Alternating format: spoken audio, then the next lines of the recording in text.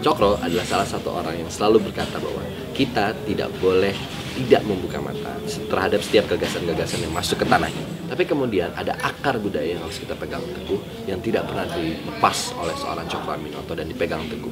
Maka ini menjadi hal yang penting buat anak-anak juga untuk bisa melihat bagaimana sih figur-figur anak muda pada zaman itu mempertahankan ideologi mereka dan tetap stick pada karakter kebangsaan mereka. Ya sebenarnya sih gue nggak begitu tahu ya gimana perjuangan anak muda zaman dulu.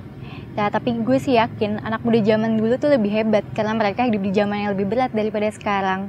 Biologi. Hmm, yang gue tahu sih itu yang diajarin di kampus gue doang.